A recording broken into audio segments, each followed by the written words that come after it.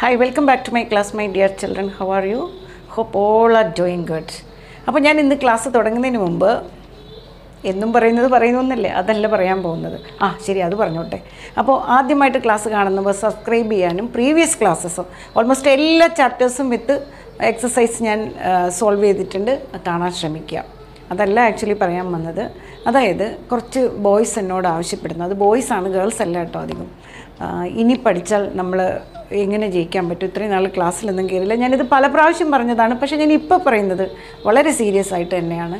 എനിക്കറിയാം നിങ്ങൾ ബോയ്സ് എങ്ങനെയാണ് എന്നുള്ളത്. എന്നോട് പ്രത്യേകിച്ച് പറഞ്ഞു തരേണ്ട. കാരണം എനിക്ക് രണ്ട് ആൺകുട്ടികളുള്ളതാണ്. അപ്പോൾ ബോയ്സിന്റെ ആറ്റിറ്റ്യൂഡ് എനിക്ക് ഗേൾസിനേക്കാൾ നന്നായിട്ട് അറിയാം അതുകൊണ്ട് തന്നെയാണ് ഇത് പറയുന്നത്. അത് നിങ്ങൾ ക്ലാസ്സിൽ കയറിയില്ല അല്ലെങ്കിൽ അറ്റൻഡൻസ് ഇല്ല ഇതൊന്നും ഓർത്ത് പറയിടാവണ്ട ഇന്റേണൽ മാർക്ക് ട്വന്റി മാർക്ക് എങ്ങനെയായാലും നിങ്ങൾക്ക് ടീച്ചേഴ്സ് അതിൽ ട്വന്റിയിൽ എയ്റ്റീൻ വരെയൊക്കെ തരും. ഓക്കെ? അത് ഓർത്ത് പറയിടാവണ്ട ഇനി ചെയ്യേണ്ടത് ഇനി ആകെ രണ്ട് മാസമേ ഉള്ളൂ. ഈ രണ്ട് മാസം വളരെ സീരിയസ് ആയിട്ട് എന്നെ എടുത്ത് വർക്ക് ചെയ്യാം. ഫുൾ എനർജിയിൽ ചെയ്യാം. ഇനി വേറെ ഒന്നും വിചാരിക്കേണ്ട. വേറെ ഇനി നാളെ തുടങ്ങുക അല്ലെങ്കിൽ ക്രിസ്മസിന് കഴിഞ്ഞ് തുടങ്ങുക അല്ലെങ്കിൽ ന്യൂ ഇയറിന് തുടങ്ങുക ഇങ്ങനെ ഇങ്ങനെ ഇതൊന്നും മാറ്റി വെക്കരുത്. മാറ്റി വെച്ച് കഴിഞ്ഞാൽ അതിന് നമുക്ക് വീണ്ടും വീണ്ടും നമ്മളുടെ എനർജി ലൂസായിക്കൊണ്ടിരിക്കും അപ്പോൾ അത് ചെയ്യാതിരിക്കുക. ഫുൾ പാക്ക് എനർജിയിൽ തുടങ്ങുക റൈറ്റ് നാവ് ഓക്കെ? അപ്പോൾ ബോയ്സ് കേട്ടല്ലോ?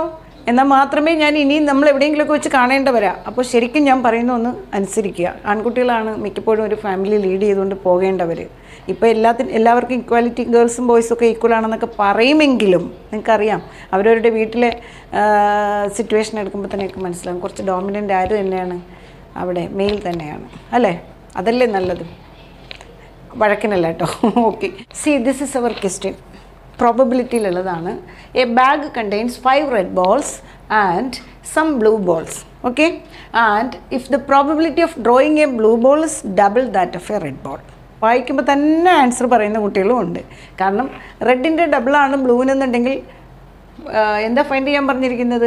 Determine the number of blue ball blue ball എന്ന് പറയുന്നത് ടെൻ ആണെന്ന് അപ്പോൾ തന്നെ കുട്ടികൾ പറയും. പക്ഷേ ഇത് വൺ മാർക്കിന് മാർക്കിനല്ല അല്ലെങ്കിലോ? വൺ മാർക്കിനാണെങ്കിൽ നമുക്ക് ടെൻ എന്ന് പെട്ടെന്ന് ആൻസർ എഴുതി പോരാൻ പറ്റും.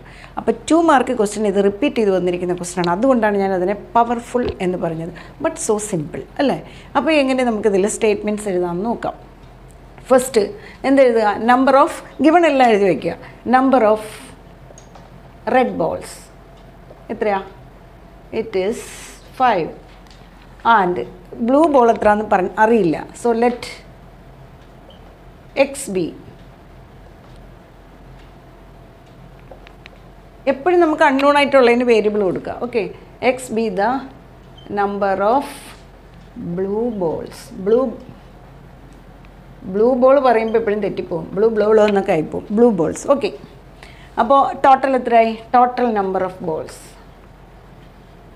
very simple ഇതുപോലെ സ്റ്റേറ്റ്മെന്റ്സ് കൊടുക്കണം. Two മാർക്കാണെങ്കിൽ total number of balls five plus X right ഇനി രണ്ടിന്റെയും പ്രോബബിലിറ്റി എഴുതുക. So simple you know it probability of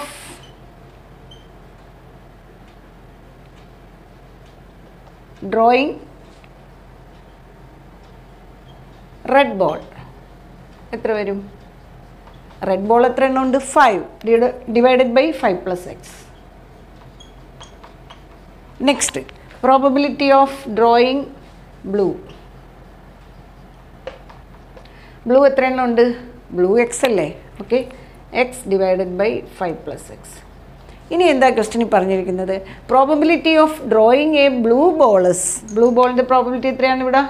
X അപ്പോൾ ഗിവൺ ദാറ്റ് എന്ന് എഴുതിയാൽ മതി. Given because that is given in the question that is X divided by five plus X that is equal to എന്തെന്നാ പറഞ്ഞിരിക്കുന്നത്? Double that of red ball red ബോളിന്റെ red ബോളിന്റെ എത്രയാണ് five divided by അതിന്റെ double that is two into five divided by five plus six ഇതിലെ ക്വസ്റ്റിനിൽ പറഞ്ഞിരിക്കുന്നു നോക്കൂ.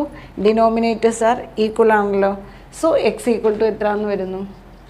Ten അപ്പോൾ ഇങ്ങനെയാണ് ഈ ക്വസ്റ്റ്യൻ നമ്മൾ സ്റ്റേറ്റ്മെന്റ് എഴുതി ചെയ്യേണ്ടത്. ഇപ്പോൾ നിങ്ങൾക്ക് മനസ്സിലായി എന്ന് വിശ്വസിക്കുന്നു.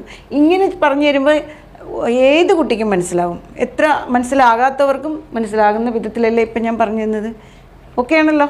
ശരി ഓക്കെ അപ്പം പഠിച്ചേക്കുക ഇത് റിപ്പീറ്റ് ചെയ്ത് ചോദിച്ചിട്ടുണ്ട്. അതുകൊണ്ട് ഇനി വരില്ലെന്ന് നമുക്ക് പറയാൻ പറ്റത്തില്ല. അടുത്ത ക്ലാസ്സിൽ നമുക്ക് വേറൊരു ക്വസ്റ്റ്യനായിട്ട് വീണ്ടും കാണാൻ എന്റെ വോയിസിന് ചെറിയ പ്രശ്നമുണ്ട് കേട്ടോ. അതാണ് രണ്ട് ദിവസമായിട്ട് വീഡിയോ ഇടാതിരുന്നത്. ഓക്കെ അപ്പോൾ ടേക്ക് കെയർ ബൈ ബൈ